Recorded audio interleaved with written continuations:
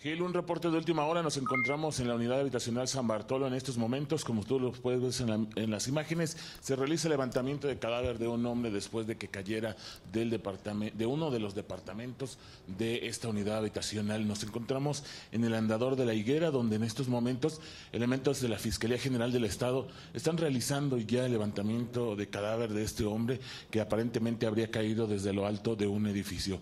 Como tú lo puedes ver en las imágenes, bueno, ya el hombre ya se encuentra pues en esta vagoneta el cuerpo del hombre que ya que lamentablemente falleció esta mañana y bueno también eh, policías de la Secretaría de Seguridad Ciudadana se encuentran en el lugar pues entrevistando a familiares y bueno, pues eh, testigos de quienes eh, reportaron que un hombre habría caído, que se encontraba sobre el andador y bueno, pues alrededor de él un, un, charco de sangre.